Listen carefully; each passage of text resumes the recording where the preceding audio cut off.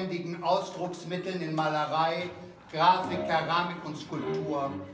Breitflächige, zuweilen gestisch wirkende Flächen und Strukturmalerei mit expressiv leuchtender Farbigkeit in kalt-warm und Komplementärkontrasten, langjährige Befassung mit daoistischen und buddhistischen Themen, Kreise, Strahlen, Wege, Energien, Labyrinthe, Spiralen, Wasserfälle, Unendlichkeiten und Samadhi-Erfahrung.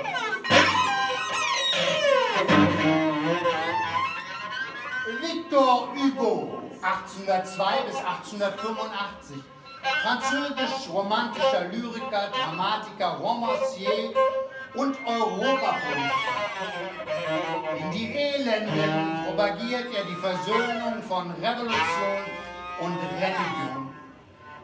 Ist auf der Suche nach einer Spiritualität, die sich befreit hat von der Repression und die des Bösen zu einer eigenen Rechtfertigung nicht mehr bedarf. Über 2000 Blätter umfassendes zeichnerisches Werk mit innovativen Bildfindungstechniken als Vorläufer der Surrealisten und Fritaschisten Umwohls.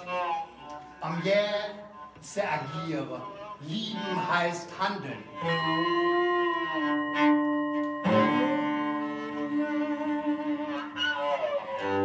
Alexander von Humboldt, 1779 bis 1859. Einer der größten Naturforscher sowohl des 18. wie des 19. Jahrhunderts, einer der letzten Universalgelehrten Eurasiens, dem Goethe, der ihn als Bergbauingenieur konsultierte, schrieb, das, was Sie uns geleistet haben, geht so weit über die Poesie hinaus, dass die Poesie sich wohl anmaßen darf, sie bei Leibesleben unter ihre Heroen aufzunehmen. 5. Oktober 1809 an den Verfasser der Ansichten der Natur. Als Ideenträger und Publizist entschieden auf Seiten der Unterdrückten und für Freiheit, Gleichheit und Brüderlichkeit, auch darin von brisanter Aktualität. Johannes Itten, 1888 bis 1967, weltbekannter Künstler und Kunstpädagoge am Bauhaus, strebte in Auseinandersetzung mit ostasiatischen und esoterischen Einflüssen Mats Datsnan im künstlerischen, wissenschaftlichen und pädagogischen Bereich wie im persönlichen Handeln nach einer ganzheitlichen Lebenspraxis. Europaweite Lehrtätigkeit und Schulgründungen Stuttgart, Wien, Weimar, Herliberg, Berlin, Krefeld, Amsterdam und Zürich. Projektentwurf einer freien Akademie in Ascona und Gründungsdirektor des Riedberg Museums für außereuropäische Kunst in Zürich 1949 bis 1956.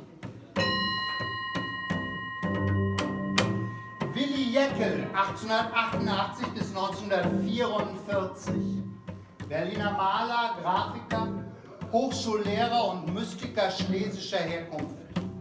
Studierte Theosophie, Kabbala, Daoismus und Buddhismus und ging einen eigenen visionären Weg, der insbesondere in der Grafik ein vergleichbar mit William Blake.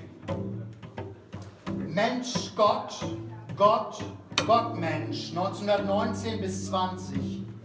Grashalme zu Walt Whitman, 1920. Das Lächeln der sieben Buddha, zu Cohen Portheim 1923.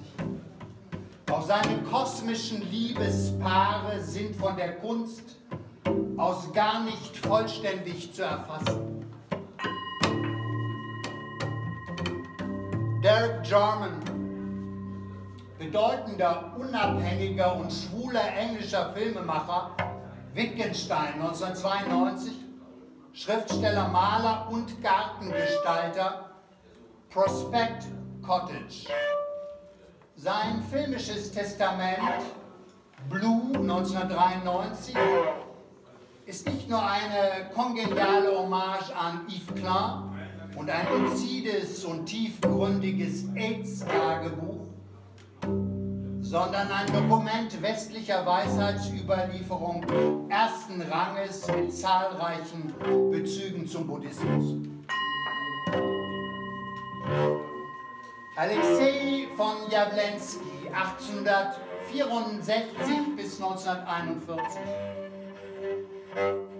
In seinem Forschungs- und Übungsprozess ging A. VJ über russisch-orthodoxe und theosophische Ideen hinaus und wandte sich dem Studium des Yoga und der asiatischen Religionen zu. Die mythischen Köpfe, die Heilandsgesichter und schließlich der schwarze Buddha künden davon. Auf diesem Weg wurde seine Kunst sichtbarer Ort des Göttlichen Mischform aus innerer Landschaft, Stillleben des Geistes, essentiellem Mandala und Gesicht als Urbild. Eine Neubegründung der Kronmalerei im 20. Jahrhundert.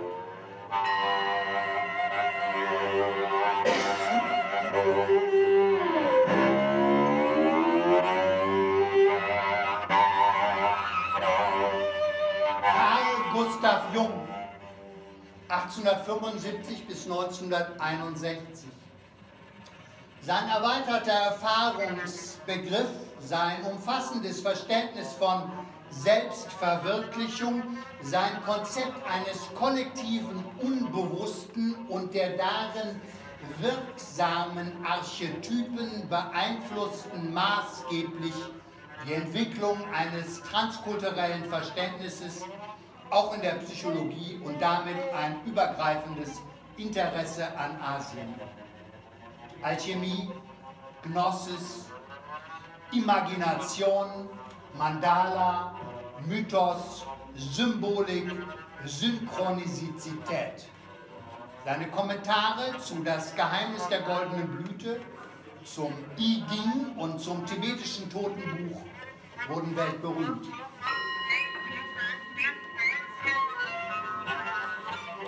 Wolf Kahlen, geboren 1940.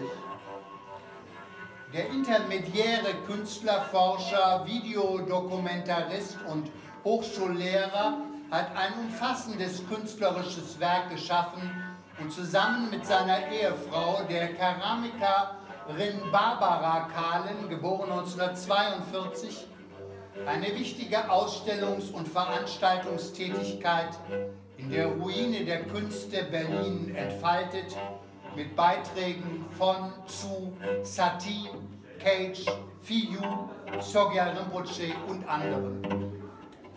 Zu seinen weltweit bekanntesten Filmen gehören Tangtong Gyalpo, der Leonardo Tibets, 1985 bis 1995 und Dakinis in Jurten, Chö-Meisterinnen der Mongolei 1994-95.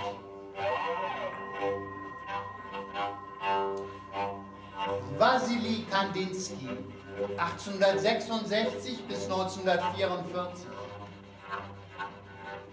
Ob die Goldnische im Wohnzimmer seines Meisterhauses im Bauhaus Dessau 1926 bis 1932 oder die programmatische Schrift über das Geistige in der Kunst, Entstehungszeitraum 1900 bis 1910. Es ging dem Begründer der abstrakten Malerei und des blauen Reiter immer darum, diese unbedingt in der Zukunft nötige, unendliche Erlebnisse ermöglichende Fähigkeit des Erlebens des Geistigen in den materiellen und den abstrakten Dingen zu wecken und damit die Vision umzusetzen, die er 1896 vor Monets Heuschober hatte. Ik Yong Kang, geboren 1960.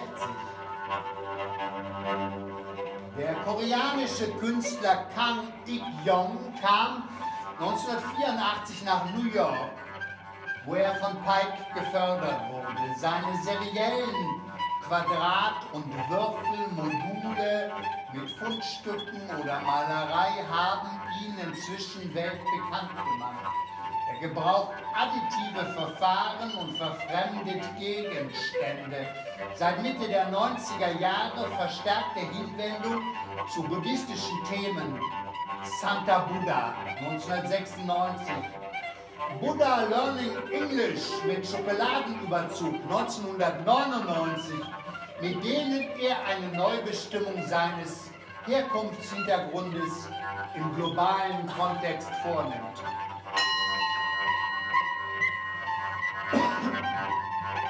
Anish Kapoor, geboren 1954.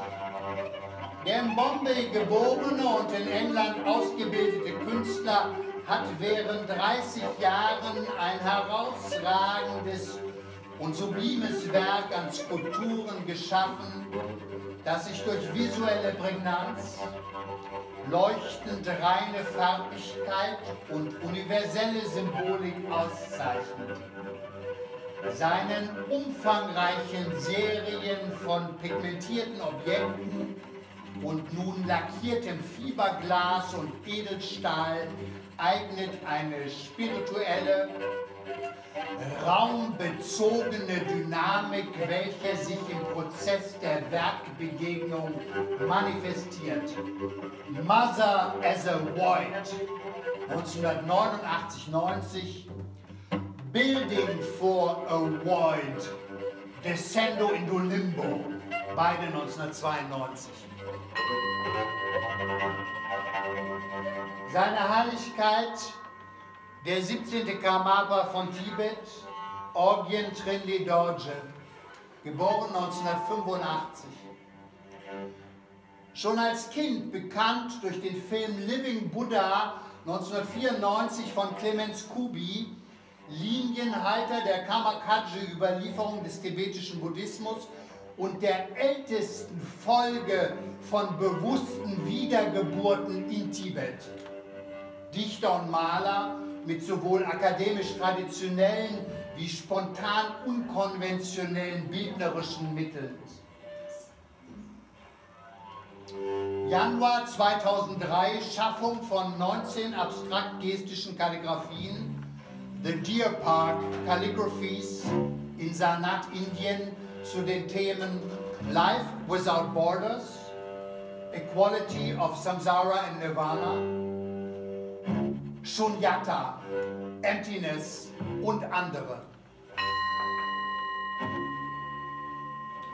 Kazuo Katase, geboren 1947, seit 1976 in Kassel lebend, wo er aus von wo aus der Künstler seit Mitte der 1980er Jahre in großen Installationen überall auf der Welt arbeitet, da diese ganze Erde als Arbeitsplatz, Marina Abramovic, aber noch keine politische Repräsentanz hat, gilt Katase vorerst als einer der bedeutendsten japanischen Künstler der Gegenwart.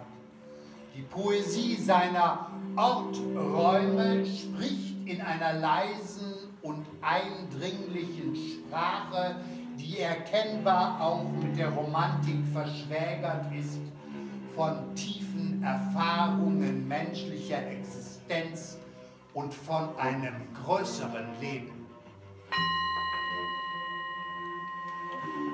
Jack Kerouac, 1922 bis 1969. Neben Ginsberg der bekannteste Dichter der Beat Generation, der sie mit On the Road 1957, die Urfassung entstand 1951 in drei Wochen auf einer einzigen Papierrolle und The Dharma Bumps 1958 weltberühmt machte. Die Kenntnisnahme von Avagoshas Leben des Buddha, Snyders Hanshan und Whalens Zen-Praxis führte ihn zum Buddhismus. Auf der Suche nach seinen bretonischen Vorfahren schrieb er Satori in Paris 1966, in The Scripture of the Golden Eternity 1956 bis 60 gab er seine Mahayana-Sichtweise der Welt.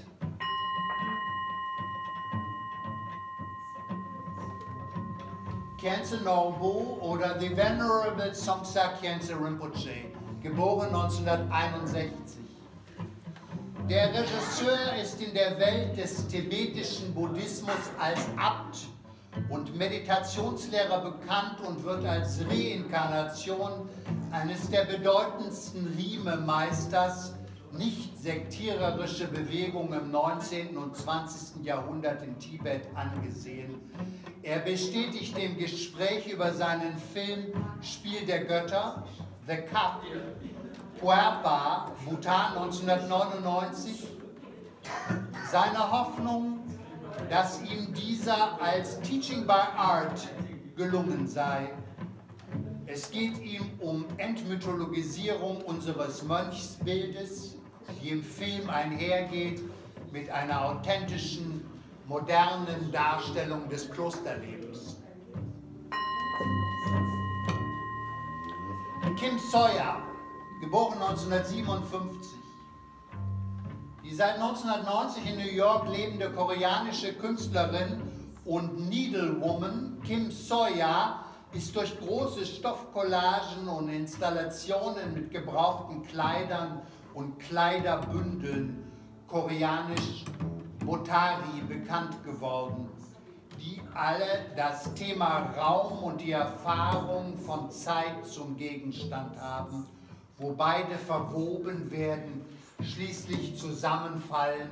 Performance Cities on the Move, 2770, 27 Kilometer Botari Truck, Korea, 1997, Biennale Venedig 1999. A Mirror Woman 2002, koreanische Bettüberzüge, Spiegelwände, tibetische Gesänge.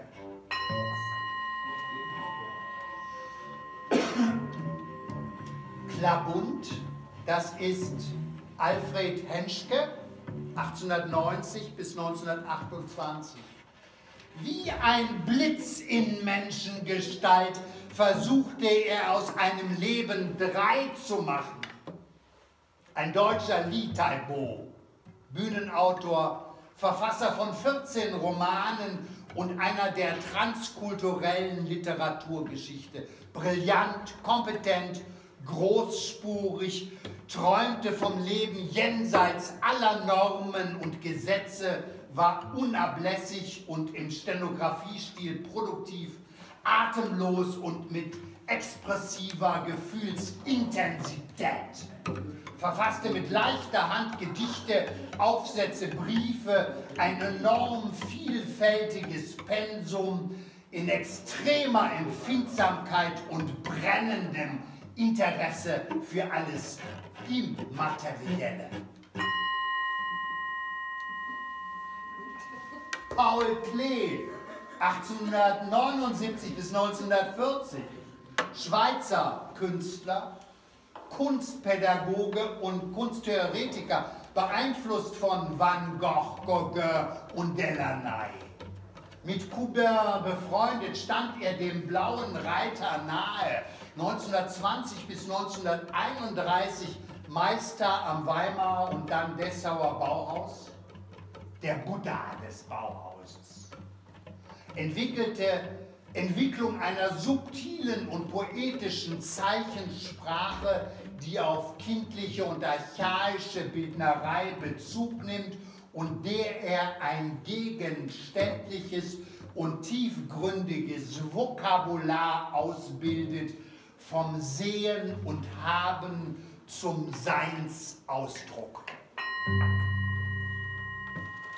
Yves Klein, 1928 bis 1962 einer der ganz großen Künstler der Weisheitsmoderne, ein begeisterter Tänzer und Judo-Meister, der in nur ganz wenigen Jahren ein umfassendes malerisches, performatives, plastisches und theoretisches Werk geschaffen hat.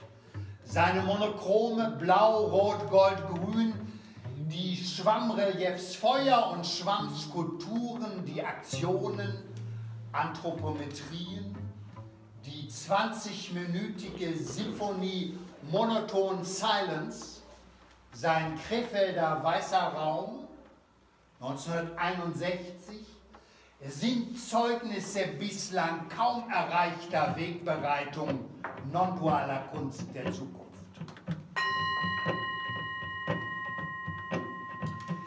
Ilma af Klint 1862 bis 1944 schwedische akademische Landschafts- und Porträtmalerin seit ihrer Kindheit von übersinnlichen Erfahrungen beeinflusst, ab 1890 mit vier Frauen in der Freitagsgruppe automatische und oft kollektive Zeichnungen unter Anleitung von Geistführern die Botschaften an die Menschheit sendet. Dann als Medium einige Zyklen symbolisch abstrakter Malerei. Amal Amaliel, Tempelzyklus, zehn große Bilder, SUW, Swan, Treffen mit Rudolf Steiner 1908 in Schweden, 1920 bis 1941 regelmäßig in Dornach malte nur anthroposophisch aus der Farbe.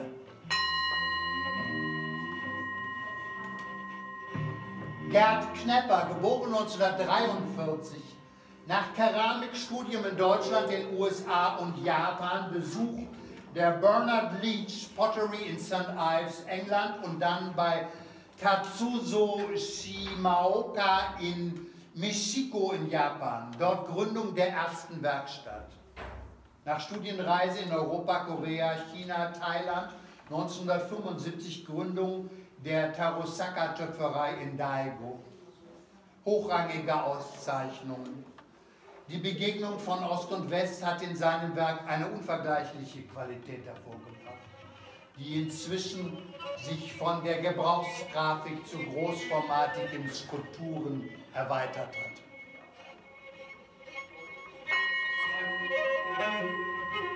Germain Krull, 1897 bis 1985.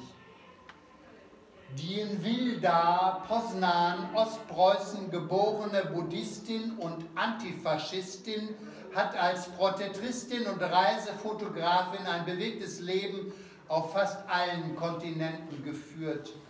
Für ein Buch von André Malraux machte sie über 1050 Aufnahmen in Burma, Kambodscha und Indien von buddhistischen Kulturdenkmälern und vom Leben der Mönche. Es ist nicht gedruckt. Die von ihr entwickelten Formen der kritischen Berichterstattung setzte sie ein, um auf die Lage der Exil-Tibeter aufmerksam zu machen, deren Leben sie seit 1965 teilte. Tibetans in India 1968.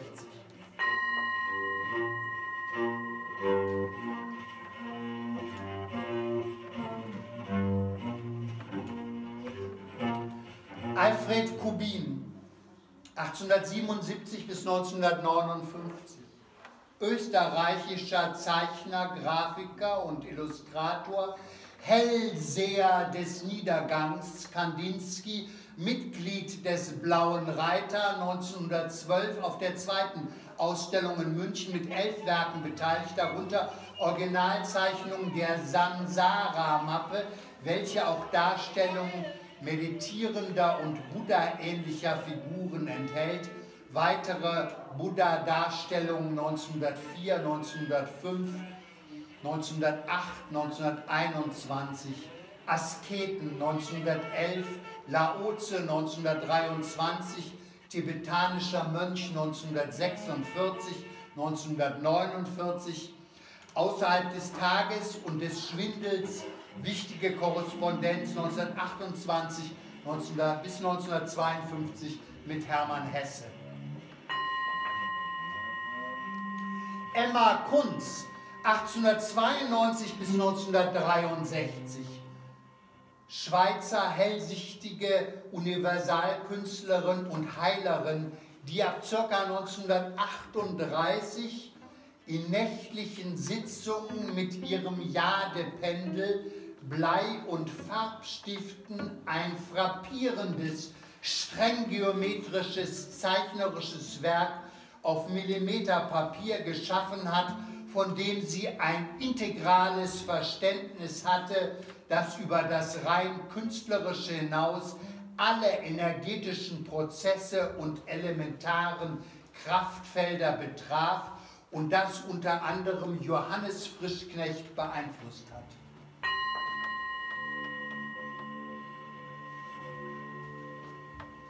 Francesek Kupka 1871 bis 1957 tschechischer Visionär und Meister der Abstraktion.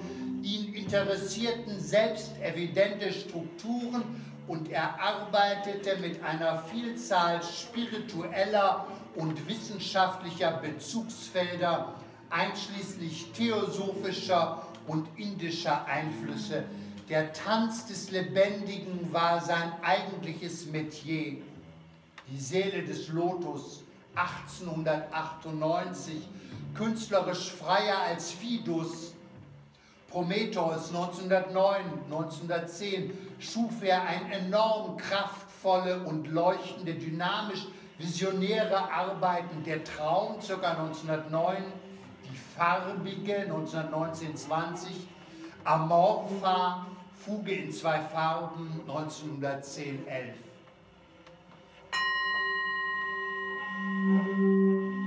Akira Kurosawa 1910 bis 1998. Einer der großen visionären Filmemacher und Meisterregisseure Eurasiens, der in epischer Weise erzählen konnte und eine überragende Filmsprache dafür entwickelt hat. Der Shakespeare des Kinos mit 50-jähriger Praxis und weltweiter Wirkung. Rashomon 1950. Die Sieben Samurai 1953. Das Schloss im Spinnwebwald 1957. Sanjuro 1962, Usal der Kirgise 1975, Kagemusha, der Schatten des Kriegers 1980. So etwas wie eine Autobiografie 1982, Ran 1985 und bedeutende Werke der Spätzeit.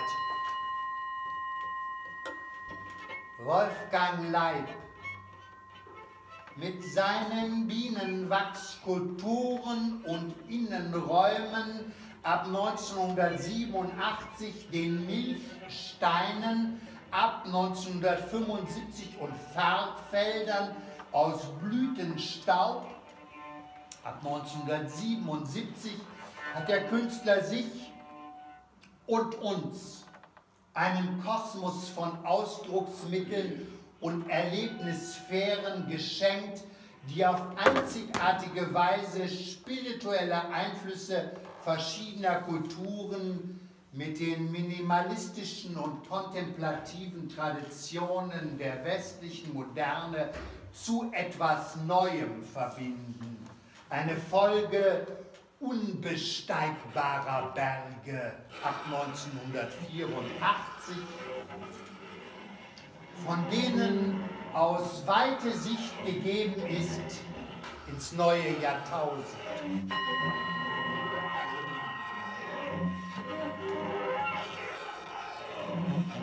Bernard Leach, 1887 bis 1979, englischer Druckgrafiker und legendärer Keramiker mit zahlreichen Reisen und Arbeitsaufenthalten in China, Korea und Japan. 1920 Bau des ersten fernöstlichen Böschungsofens in Europa, in St. Ives in Cornwall. 1932 Freundschaft mit Mark Tobey und Beginn der Studien zu Bahai. Mit Suseto Yanagi 1889 bis 1961 und Hamada, Begründer der Minai-Bewegung, die entgegen dem Trend zum modernen Industriedesign einen neuen Standard handwerklicher Produktion setzte. In seinem Werk transzendiert er die Ost-West-Trennung. Bruce Lee 1940, 1973.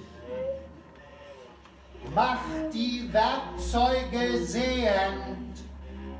Alle Bewegungen kommen aus der Lehre heraus. Und der Geist ist ein Name für diesen dynamischen Aspekt der Lehre. Sie ist direkt ohne ich-bezogene Motivation. Lehre heißt Echtheit, Aufrichtigkeit, Direktheit, wodurch nichts zwischen das Selbst und seine Bewegung treten kann. Im Jet Kundo soll man jegliche Technik ganz vergessen und es ganz dem Unterbewussten überlassen, mit einer Situation fertig zu werden. Das Jet Kundo von Bruce Lee beeinflusste Karl Friedrich Klaus und viele andere.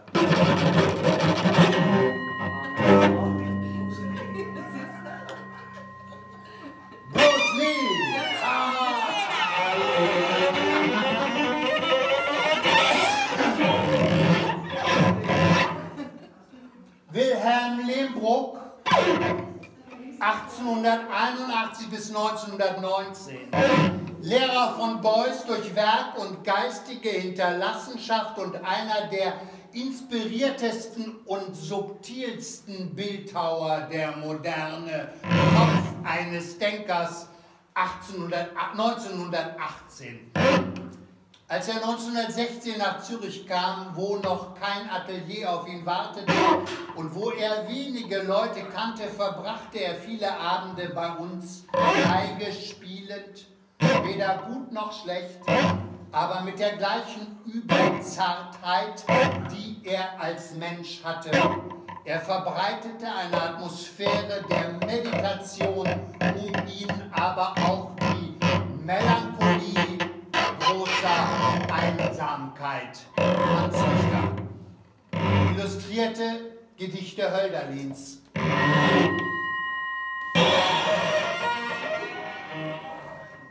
Richard Long, geboren 1945, englischer Künstler der Landart, der Wanderungen in der freien Natur, Walking a Straight Line for 10 Miles, 1968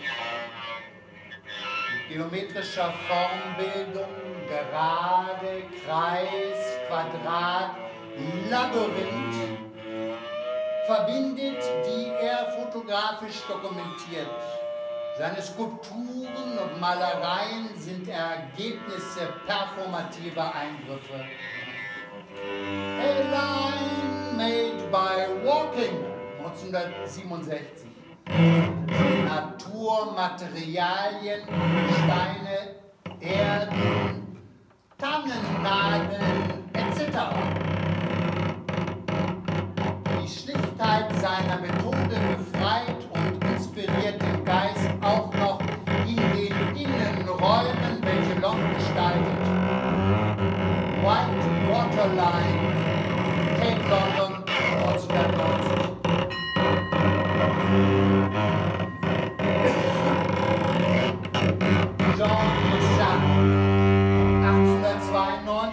1966. Französischer Maler, Keramik und Poet, weltbekannt durch seine Befreiung und Erneuerung der authentischen, materialgemäßen Tapisserie mit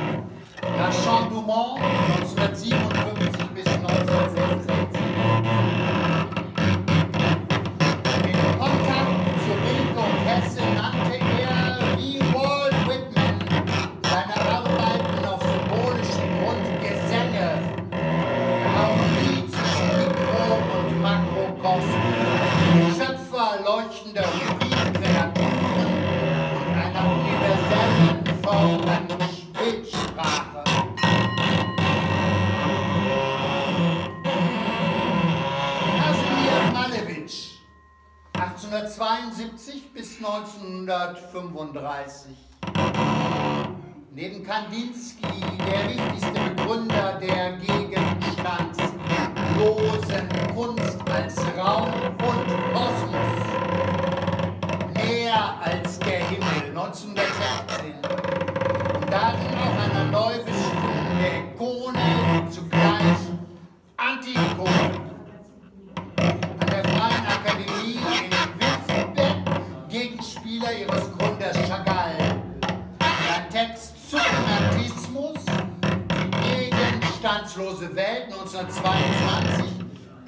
großer Wirkung bis zu Imi Knöbel, behandelt die Stellung des Menschen im Kosmos. Bahnbrechende Werke, schwarzes Quadrat, schwarzer Kreis, schwarzes Kreuz, verlängerte Ebene, alle 1915.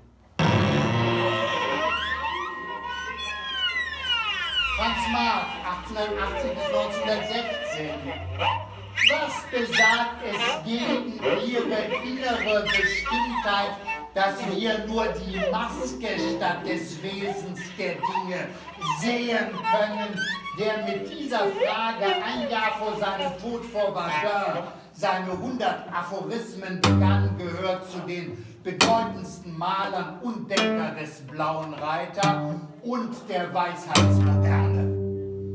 Der Lieblingsmaler von Ernst Bloch hat eine Fülle inspirierter Werke hinterlassen und selbst sehr viel mehr Reinheit und Weltdurchschauung besessen, als in seiner irrigen Hoffnung auf Reinigung durch Krieg zum Ausdruck kommt. Agnes Morton, 1912 bis 2004, amerikanische Malerin der gegenstandslosen Moderne bei klassischer Reinheit und Gelassenheit in ihren notierten Einsichten und Kunstwerken von großer Subtilität und Tiefgründigkeit. Kunst ist die einzige Arbeit in der Welt, die nicht materialistisch ist. Alle anderen Arbeiten tragen zum menschlichen Wohlergehen und zur Bequemlichkeit bei. Bekannt mit Mark Roscoe und Ed Reinhardt, von Blake, Keats, Chuang Tse und Huang Po beeinflusst. On a Clear Day, Schweiz 2000, Regie Thomas Lüchter.